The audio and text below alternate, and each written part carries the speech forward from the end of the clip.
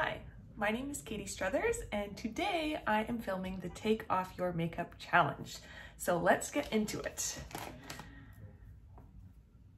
I'm a little bit apprehensive to take off the eyelashes on camera because I don't have a mirror and I don't want to pull my eyelashes off.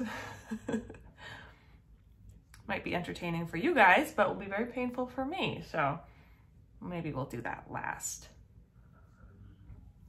So I'm going to be honest. Um, when I saw Miss Grand International doing this challenge, um, it was a bit intimidating for me. As someone growing up, I was always self-conscious of my skin. I've always had acne growing up. And of course, it's always been something I've been a little bit um, self-conscious about.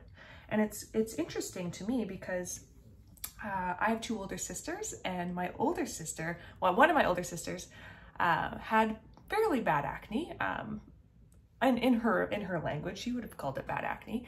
And it's so funny because when I was a kid, I thought she was beautiful and she is beautiful, but I always said, I love your freckles. I always told her that. And it was irritating to her at the time because she was a teenager and that was something she was self-conscious about. But I, when I was a kid, I thought her spots were very beautiful.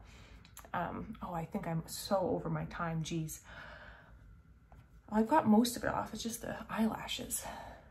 Um, but yeah, when I was a kid, I thought the spots were beautiful. And so I try and remind myself of that sometimes when I get a little bit self-conscious of me having breakouts. And of course, it's gotten a lot better as I've aged, but um, maybe I'll just try one more, get a little bit more makeup off. I feel like I'm over time, but we'll try and get as much off as possible for you here. Let me try getting the makeup, eye makeup.